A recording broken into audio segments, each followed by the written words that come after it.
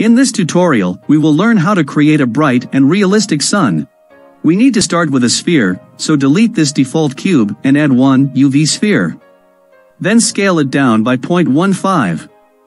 We need to use an emission shader for this sphere. So go to the Materials tab and create a new material. And change the shader type to emission. You can also change the color if you want. But at the end, this will not matter much. Now increase the strength to 3. Then, switch over to the rendered view mode. Go to the World tab, and change the environment color from the default gray to complete black. Let us also turn off the overlay. The sun is neither bright nor realistic, so we need to make more adjustments to it. First, go to the Render tab here, and turn on the bloom effect. We can see a nice glow around the sun. We need to do rest of the work in the compositor, so open the compositor. Let us close this section. Select this Use Nodes option. We get these two default nodes. Let us mode them aside and make rooms for the other nodes that we will now add here. The first node to add is a blur node. Place it after the render layer and change the blur type to fast Gaussian. For the X and Y values, enter 60. For both. And change the size to 3. Then connect the render layer to this node. Select this node again and press Shift D on your keyboard to duplicate it. Change the X and Y values to 80. And change the size to 1. Once again press Shift D to duplicate this node. This time enter 150 for the X and Y values. And change the size to 5. Then connect the render layer to these two blur nodes that we have just created. We are done with the blur.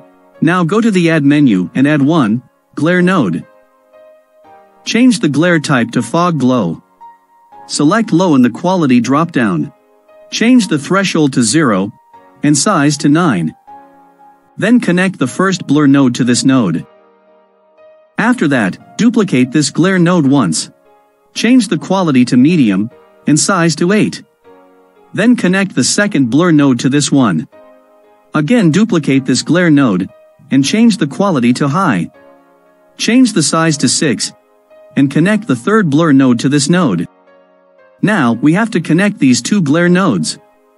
For that, go to the Add menu, then Converter, then add a math node of add type.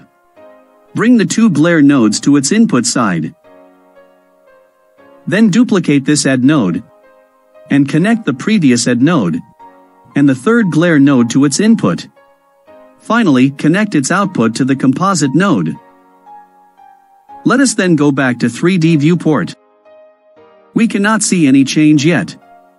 We have to render the final output in order to see the result. You can also hit F12 instead of going through the menu. So, here is our bright sun, or any sun-like object in the backdrop of black sky.